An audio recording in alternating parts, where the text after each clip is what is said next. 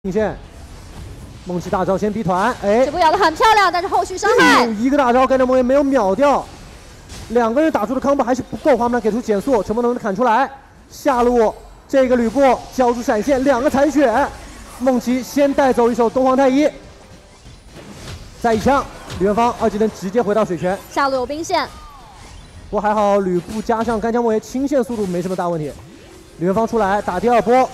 张飞没有大招啊，干将没有命中，出来再接大，梦琪能不能秒？哎呦，嬴政拍死，下路再留，吕布要形成反打，但目前攻速没有起来，伤害层面不够，没有兵线，里边的干将还剩蓝博一个人没。办法，让我们恭喜 Hero 九进三比零战胜了潍坊地。